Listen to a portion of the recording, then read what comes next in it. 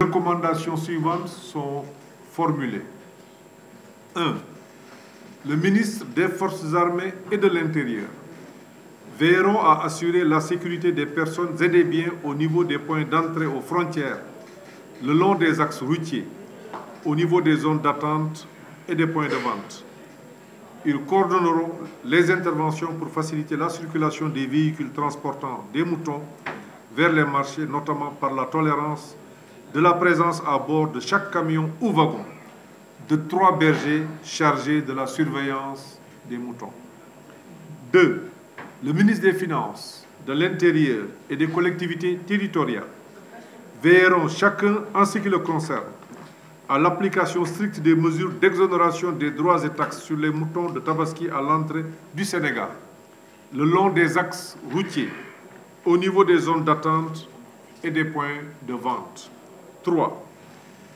Les ministres de l'Intérieur, des collectivités territoriales et de l'élevage prendront des dispositions nécessaires en relation avec le ministre de l'eau, le ministre des énergies, le ministre de la Santé, ainsi que les maires pour l'aménagement des points de vente autorisés, le désencombrement des sites et leur nettoyage avant, pendant et après la fête de Tabaski, la mise à disposition de, tentes. 4. Le ministre des Affaires étrangères prendra toutes les dispositions nécessaires afin d'assurer la traversée des moutons au niveau de la République de Gambie pour l'approvisionnement des régions du Sud et d'encourager l'importation des moutons, notamment à partir du Mali et de la Mauritanie.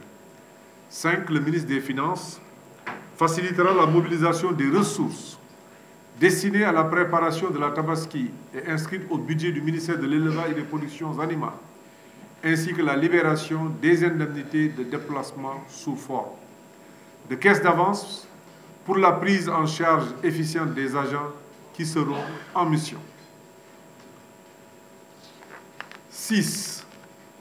Les ministres des Transports, du Commerce et de l'Élevage faciliteront une concertation entre les transporteurs et les opérateurs de moutons de Tabaski en vue de la consolidation des acquis relatifs à la détermination d'une tarification consensuelle pour le convoyage des animaux afin d'éviter la surenchère souvent observée dans ce domaine à l'approche de la fête. 7. Le ministre de la Santé mettra en place des postes de santé rapprochés au niveau du foirail et des points de vente euh, de Dakar, ainsi que des équipes préventionnistes au niveau des différents points de vente. 8. Le ministre du Commerce incitera les provendiers à faciliter aux opérateurs l'accès aux aliments usinés par l'installation de stocks rapprochés au niveau des points de vente autorisés et veillera à l'application des prix fixés.